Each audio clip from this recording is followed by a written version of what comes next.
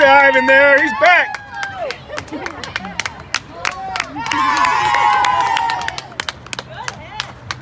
All right, Ivan.